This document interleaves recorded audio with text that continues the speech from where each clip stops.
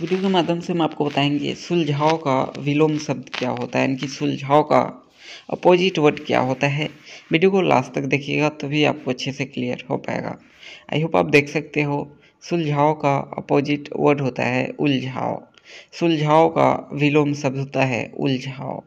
Comment section में आपको बताना है, नगर का अपोजिट वर्ड क्या होता है। आई होप आप बता दोगे, और चैनल पर नया हो चैनल को सब्सक्राइब ज़रूर कीजिए। Thank you for watching this video